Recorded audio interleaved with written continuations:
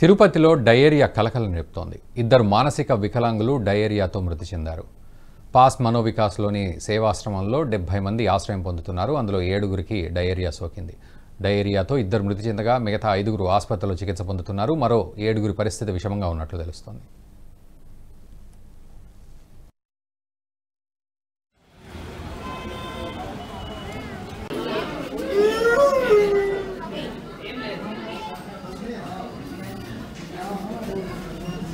Six name zero.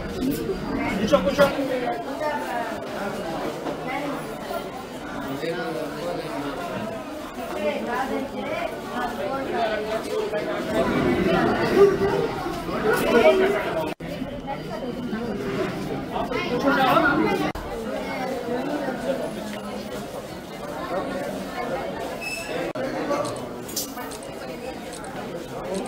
Thank you.